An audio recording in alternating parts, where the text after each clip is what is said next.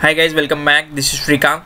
Today in this video we'll be talking about very important uh, thing in SQL Server uh, as a part of performance tuning.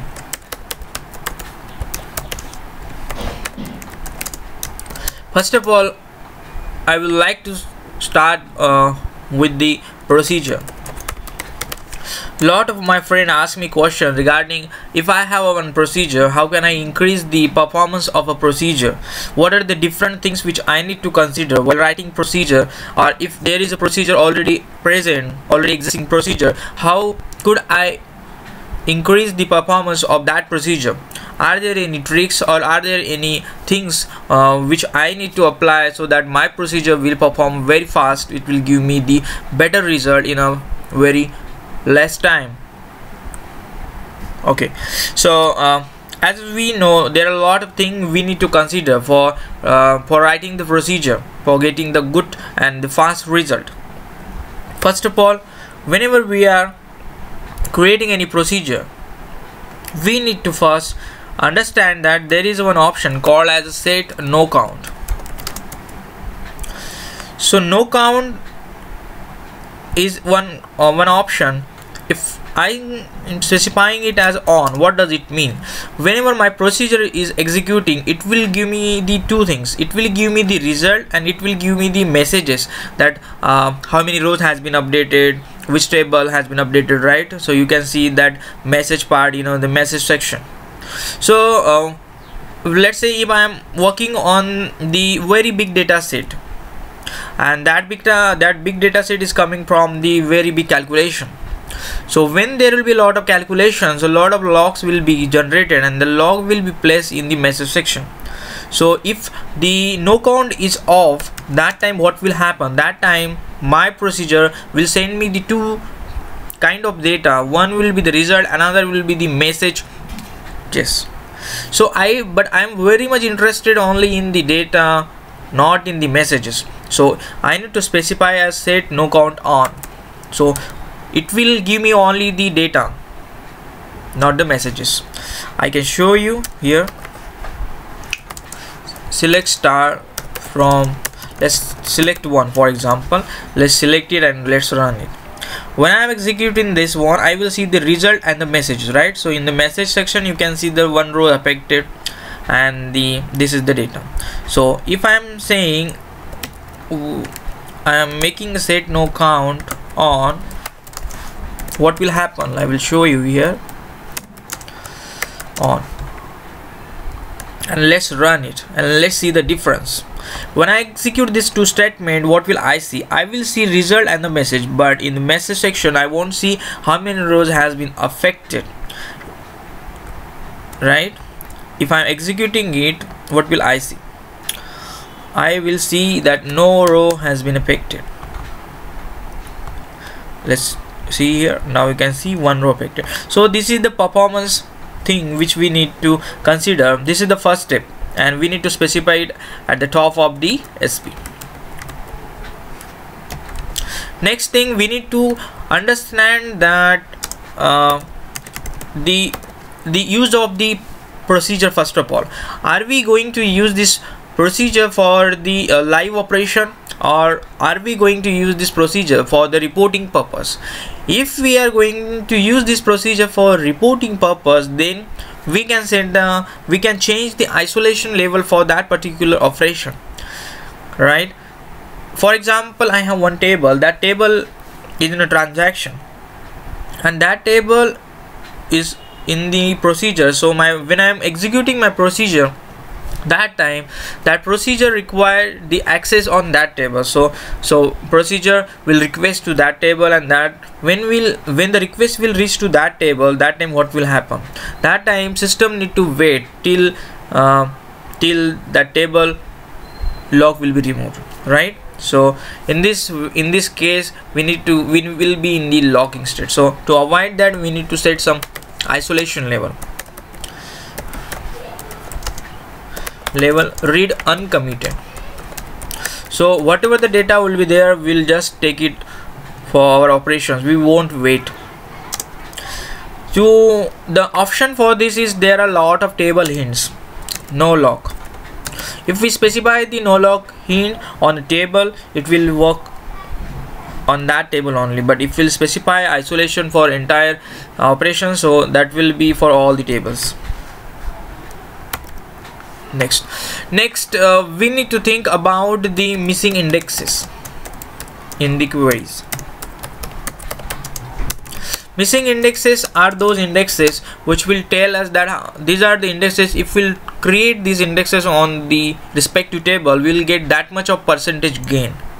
So we need to think about the missing indexes. There are a lot of sys uh, dmvs which can tell us that these are the indexes you can create it will give us the definition uh, of it also. If we'll take it and we'll create and we'll definitely get the gain from the queries. So missing indexes are very important. Next uh, scalar function. If I'm performing some kind of operation and right? So if i'm using any function so for function is is is, is done on the row basis. So if i'm going i'm to use a scalar function so every time the data will come and that value will be passed to the function so function's query will be executed and we'll get the result after the execution of that function. Let's say i'm running one simple date function and I have 1 billion of rows and if I am writing one uh, scalar function of that date to get some year kind of or date kind of thing. So that function will be executed for the 1 billion times. So we need to have some solution to have to to fix it. We can go for the update statement where we can update the data and we can just use that column. Right next we need to think about the covering index covering index is the index which include all the columns whatever we have in a select statement. Let's say if i have the non-cluster index on the two column but my select query returning five column including that two column then i need to go with the covering index. So covering index can be created with the help of include clause with the index.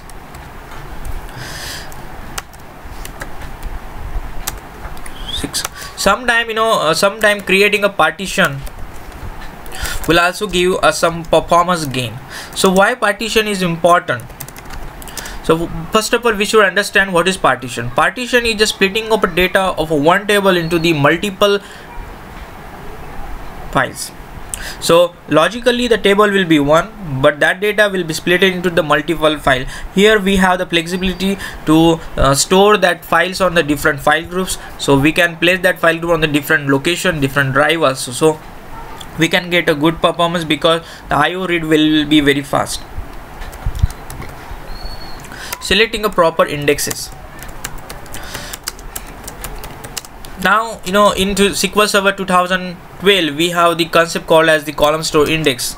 But in but that has a limitation we can't update it. But in SQL Server 2014 if we are using it we have the feature called as the cluster column store index which has the feature of updatable column store index. If our data set is written a very big data and we need it for the analytic purpose then we need to think about some advanced kind of index and which we can go for the column store index.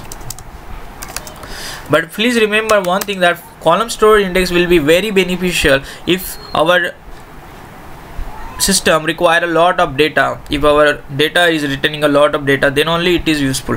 For the operation such like a searching from a one record to record column store will not be useful. Because column store store uh, data in a columns. And that those column will store in segment and we call those segment in the row row groups right? Okay. So uh, next understand uh, then uh, try to minimize physical read. As you know what is physical read? First of all we should understand the difference between the physical read and the logical read. So physical read is just to reading the data from the disk and the logical read is to read the data from the buffer caching. So uh, if i'm uh, if i want a single record from a 1 billion rows for example and if i am doing if i am bringing the lot of pages thousand pages just for a single record then that is called as the that is not a good way good way uh, to read the data. It means our data pages are not good good stored. There are a lot of issues like uh, fragmentation also. We need to consider some fragmentation part so we need to reduce the physical read. Fragmentation issue. What is fragmentation issue? You know we will have a lot of indexes. So index need to be fragmented after some time because you know pages uh, pages are scattered in all over the system right? And extend also scatter all those places. Because basically we should understand the concept of fragmentation. Why fragmentation happen in the first case? So for example if i am having one table and that table is having uh, 50 pages. Next day i'm doing some operation. So some data will some data pages some data will be deleted updated. So uh, there will be a gap. Right?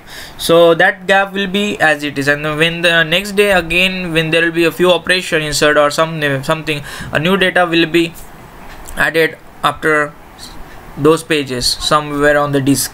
So the date there is a gap right? And these pages are not consecutive. So to avoid this kind of situation we have a two fragmentation option. We need to consider dba basically dba people need to think about it. One is index rebuilding. Another is index reorganizing reorganizing. So index rebuilding is just to uh, dropping the old index and creating the that index. And reorganizing means the it just reorganizing the index pages. We won't drop. It will uh, pop up online. It will perform offline. So basically we need uh, rebuilding requires some downtime. Reorganizing doesn't require any downtime. Okay so fragmentation we have covered. So these are a few basic points. And the next very important is 11th one is to understand the execution plan. Execution plan. Understanding execution plan is very important for the developer and we need to understand the different things in there. First of all we should know how to read it. We need to read it from the right side and the things which we can see the different options called as the operator. We need to consider we need to understand those. Then we need to understand how many operations are there uh, are there seek or the scan or the table scan or the index scan or the index key seek. Uh, then we need to uh, consider high level like is a loop join is there or merge join or the hash join. These are the different things we need to consider. So these are the basic thing we need to consider for increasing the performance of a procedure. But mostly there are a lot of things to consider but mostly very few things need to consider which are related with the gaining of performance and that thing is just index. If your table is having a proper index and the query is written in such a way that it is utilizing all the indexes then your performance will definitely good. Right uh, so hope you like our video regarding how to increase the performance in a procedure. And thanks for watching. Have a great day